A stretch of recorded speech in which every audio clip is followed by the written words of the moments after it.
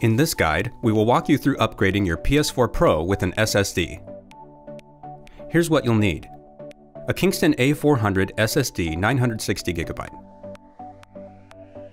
A Phillips screwdriver. A USB flash drive.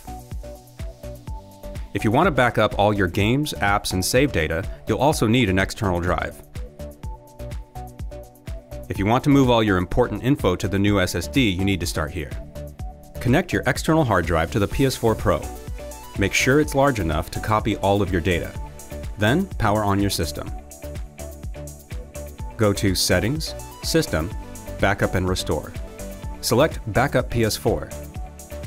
Then, press X to add a check mark for saving applications.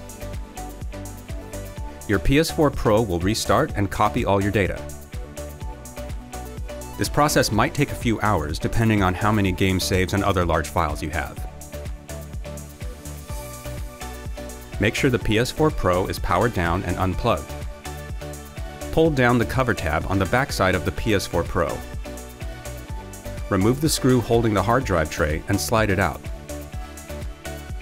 Now, remove the four screws holding the hard drive to the mounting bracket. Once that's done, place your Kingston A400 SSD in the mounting bracket and tighten the four screws. Attach the SSD to the PS4 Pro by replacing the screw and slide the cover tab back on.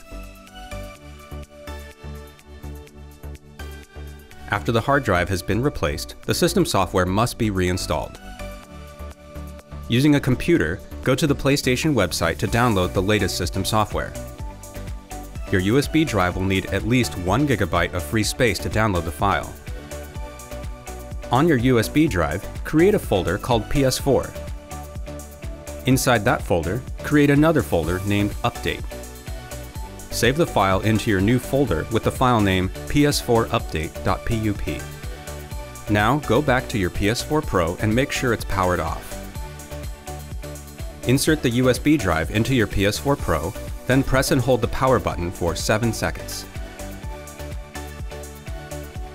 Select Initialize PS4 Pro, reinstall system software, and follow the on-screen instructions.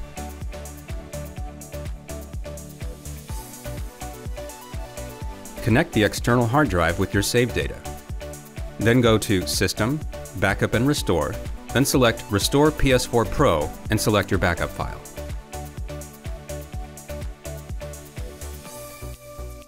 Now all is ready, let's do a speed test. We're going to go and start the long-awaited Death Stranding.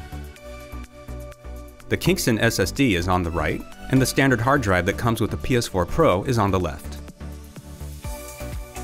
You can already tell that the Kingston SSD is faster here.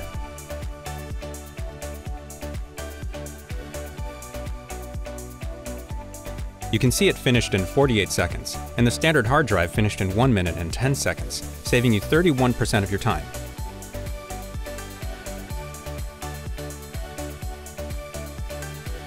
If you need assistance, please contact Kingston's technical support. Thanks for watching.